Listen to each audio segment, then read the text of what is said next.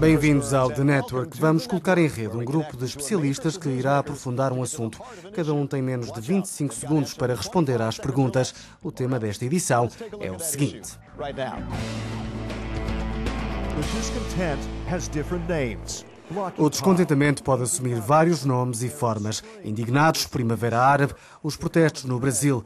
Todos têm em comum a crescente crise de confiança nos sistemas políticos que não conseguem dar resposta à instabilidade financeira e económica. Na Europa, os números do desemprego são galopantes e duplicam quando falamos nos mais jovens. A cerca de um ano das eleições para o Parlamento Europeu, consolida-se a tendência de penalizar os atuais governantes. Ao mesmo tempo, sublinha-se o receio da abstenção. O último escrutínio registrou uma afluência de apenas 43%. Se houver ainda uma descida, é o próprio Parlamento Europeu que arrisca uma crise existencial. Neste contexto, como abordar esta angústia generalizada que tem encontrado na internet o veículo para a sua mobilização? As revoltas populares têm abalado pilares de autocracias e democracias.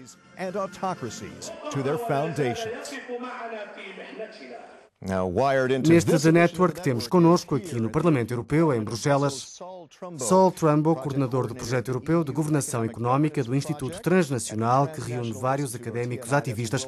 Sol Trumbo esteve envolvido, por exemplo, no movimento dos indignados. Em Rijeka, na Croácia, está Robert Manchin, diretor executivo da Gallup, que apresentou recentemente uma sondagem que indica que 75% dos europeus acredita que não podem encontrar um emprego nesta altura, o que atesta dos níveis de confiança. E em Paris temos Pierre Vinicki, diretor-geral do Institut Confiance, um grupo de reflexão que procura formas de restabelecer a confiança entre políticos, média e cidadãos. Começamos com o Sol. Por que é que isto está a acontecer agora? Os governos são mais fracos ou é o poder de contestação através das redes sociais que se tornou mais forte? Uh, Na minha opinião, enfrentamos uma crise sistémica. As estruturas políticas caíram no descrédito porque já não representam as necessidades reais da população. Isso reflete-se na maneira como os partidos políticos, sobretudo na Europa, estão a gerir a crise. Aliás, não estão a gerir, estão a utilizá-la para implementar a agenda da austeridade. Para só, os governos são os piores de sempre. Robert, o que é que as sondagens nos dizem? Bom, dizem que se trata de um ciclo que começou há mais de cinco anos.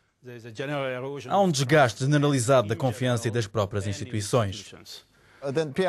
Aquilo que parece é que os governos perderam capacidade de resposta. Estamos a assistir ao resultado da cultura de desconfiança que se tem desenvolvido ao longo dos últimos anos. É um problema a longo prazo que temos de enfrentar no dia de hoje. Não se trata de uma questão passageira. Uh, uh,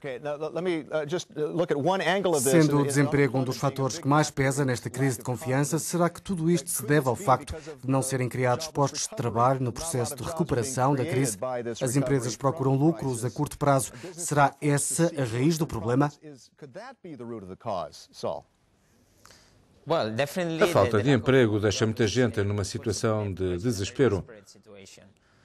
O problema é que as instituições europeias têm tido um papel muito relevante na imposição da austeridade, o que resulta na destruição maciça de empregos, na destruição do Estado de Providência. Robert, qual é a sua opinião?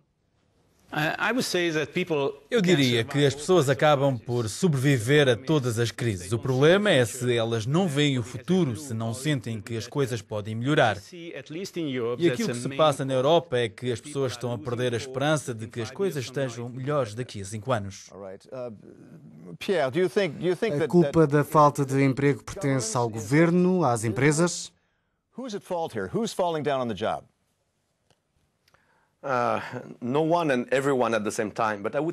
A culpa não pertence a ninguém e pertence a todos ao mesmo tempo. Como é que se pode esperar ter um clima de confiança entre os cidadãos europeus quando dentro das próprias instituições não existe uma cultura de confiança, ou se existe, é muito limitada?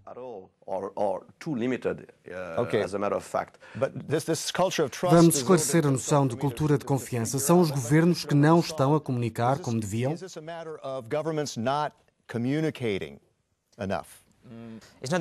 Não se trata de falta de comunicação, porque os políticos controlam todos os mídias corporativos. É sim um problema de falta de democracia e de responsabilização, não só ao nível nacional, mas também ao nível europeu. É preciso recordar que a Comissão Europeia e o Banco Central Europeu não são responsabilizados pela imposição da austeridade. O Sol fez parte do movimento de cerca de 3 mil pessoas que bloqueou as instalações do BCE é uma questão de comunicação ou nem por isso? Como é que se restabelece a confiança? How do you restore this trust, this confidence? Uh, you cannot really do it with communication itself. Não é possível só através da comunicação. As pessoas não são estúpidas.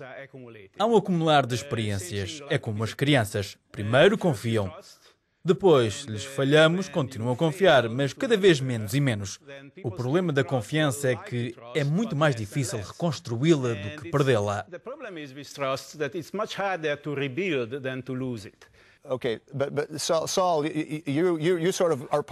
O Sol integra um movimento que não procura cooperar, procura lutar contra a situação.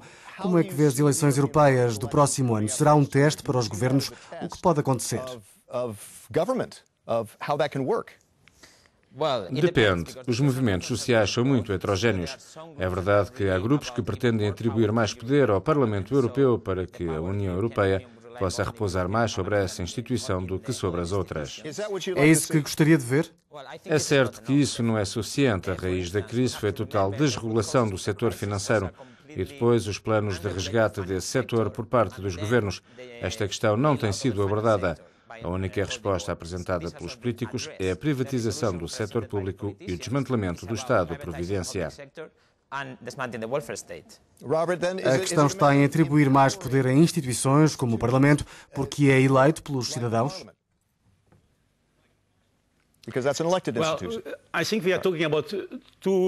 Estamos a falar de duas coisas diferentes. Por um lado, queremos criar uma consciência europeia, uma Europa unificada onde as pessoas são representadas. E essa representação manifesta-se diretamente no Parlamento Europeu.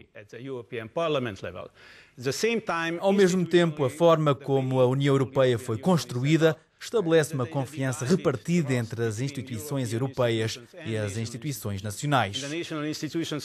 As nacionais fazem tudo o que podem para recolher o máximo de confiança possível e a Europa fica dividida. Em alguns países confia-se muito mais nos governos locais e nacionais, noutros é nas instituições europeias. Este equilíbrio está a alterar-se. Uma última pergunta: como é que vamos restabelecer a confiança? Por exemplo, que papel terão as eleições europeias no ano que vem?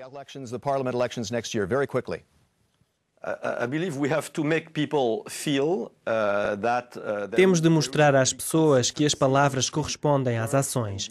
Isso é extremamente importante. Não é isso que as pessoas sentem quando a Europa e os outros dizem que precisamos de mais empreendedorismo, mais competitividade.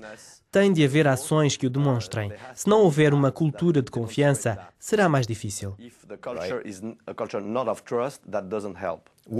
Precisamos de palavras e ações. Agradecemos a vossa participação no programa. Obrigado por nos ter acompanhado. Até ao próximo The Network. I'm Chris Burns, and until next time, thanks for connecting with The Network.